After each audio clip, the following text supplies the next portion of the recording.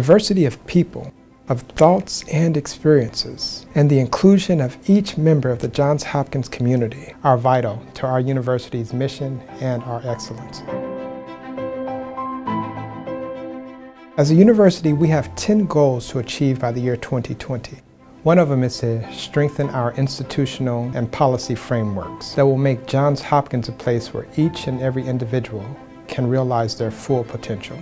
As a nation, as a city, and as a university, we're still grappling with the consequences of racism and other forms of discrimination.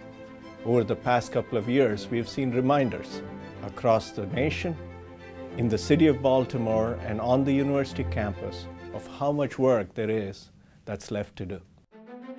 In 2016, we created a roadmap for diversity and inclusion. And this roadmap included inputs from our students and our faculty, our staff, and now we begin the hard work to make strides with programs and, and, initiatives, including our Faculty Diversity Initiative and other programs. These programs that reveal both the promise of, of where we're headed and the challenge of where we started from.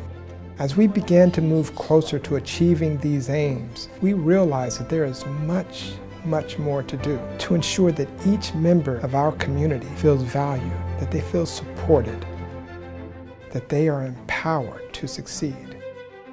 And that is our goal.